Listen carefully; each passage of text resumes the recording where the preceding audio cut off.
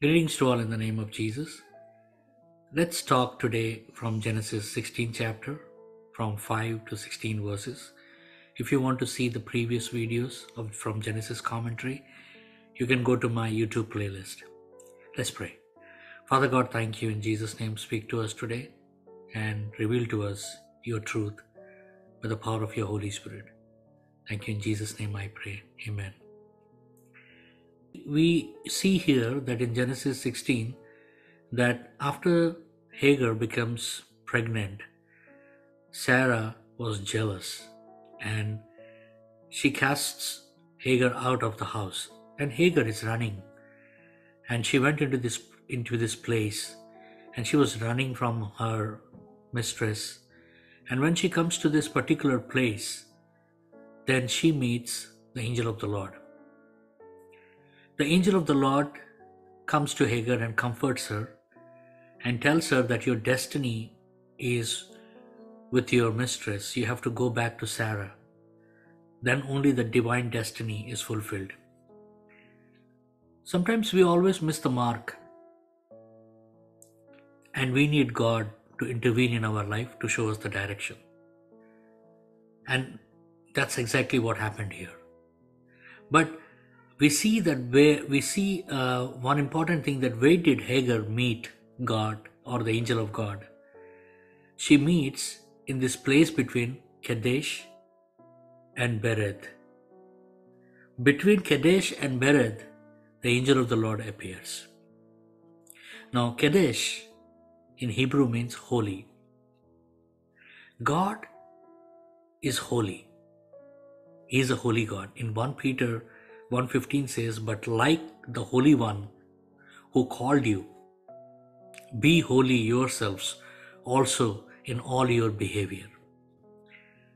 God wants us to be holy, holy in our thinking, holy in our speech, holy what we see, and what happens if we fail.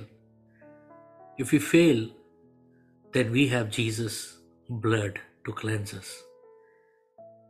Man cannot become righteous without being cleansed by the blood of Jesus.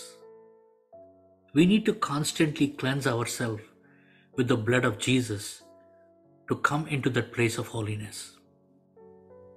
When once we have grown up or developed an habit of cleansing ourselves with the blood of Jesus, then we come to a place of holiness. We walk in the place of holiness, which is not a self righteousness or a self holiness gained by our own strength, but by the power of God.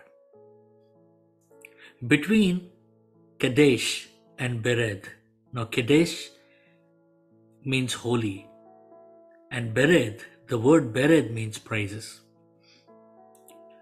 In Psalm 22 3 says, But thou art holy, O thou that inhabitest the praises of Israel. In the heaven, there is a constant praise which is given to God by the angels. God inhabits in the praises of his children. When you praise God, it creates a throne, and God sits on the throne.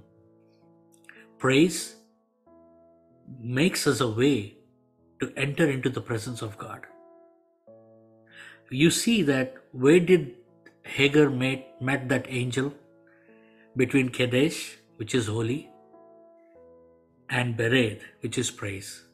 When you have a consistent life of holiness, by cleansing ourselves and sanctifying ourselves with the Word of God, with the blood of Jesus, and when you have a, a, a constant habit of praising God, exalting Him, giving Him the reverence, you would come into that center where you would meet God, where you would hear from God, where you would get the direction from God. This is very important to having God's direction in our life, otherwise, we will be lost. We will meet in the next teaching. Till then, God bless you all.